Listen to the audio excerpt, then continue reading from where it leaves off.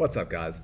I'm going to show you today how you can generate Pinterest marketing images for your Zazzle products. So if you are a Zazzle uh, seller, you have a store on Zazzle, or if you're a Zazzle uh, affiliate marketer, then this is the tutorial for you. So I'm going to show you how you can generate Pinterest pins from your Zazzle products and from the web page.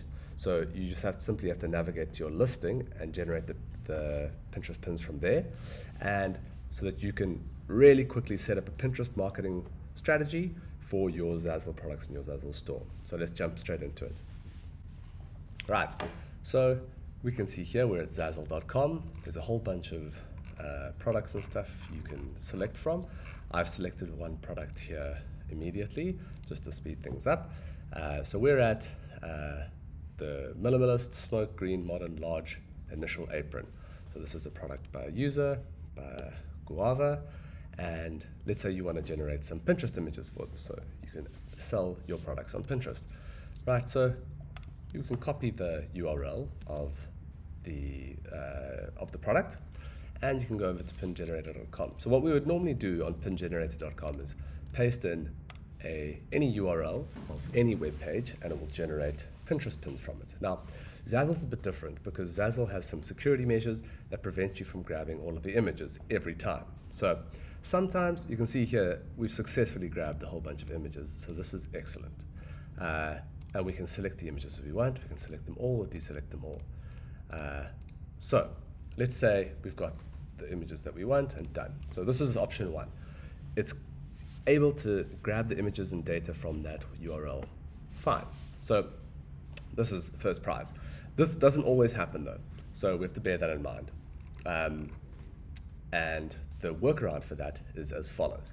So you would go to your uh, Zazzle product and using the pin generator Chrome extension, you can open up uh, the sidebar here and click scan page. This is going to scan the page for its metadata as well as its images from where we can select the images we want and generate pins. And this will take us back to pin generator with the pins generated. Now, let's wait for that to happen. Boom, we can see it done here. Now at this point, you can schedule all your pins to Pinterest, you can download them, you can pin them directly to Pinterest, and of course you can edit the pins as you like for their text and uh, descriptions, and you can use AI to rewrite the text and descriptions, sorry, the title and descriptions, as you please. So it's a whole design uh, feature set up like that. But I glossed over the Chrome extension a little bit. So, so this is how you get the pin generator Chrome extension running. So you go to the, the extension page. Uh, you can search for it in the Chrome Web Store, or I'll link it down below so you can grab it. Uh, and you simply click Add to Chrome here, and this will add the pin generator Chrome extension to Chrome. Then you can uh, use it on any website. So once it's installed, you've added it to Chrome, it'll be, see, click the puzzle pieces down here, you'll see it there. I pin it so that it's available on the sidebar here. And then you can go to any product in Zazzle. Let's try this one. And instead of having to put the URL into pin generator, you can simply click on the Chrome extension icon and scan the page for its data. So here we've got the apron data we want, and you can edit the, the, the titles and stuff here best apron ever. And you get the idea, and you can generate the pins. So yeah, so once you're happy with the pins that you've got, that you've generated, you can see that the images are a little bit low quality here. So perhaps we want to use more high quality images. Okay, cool. So we just selected the smaller images.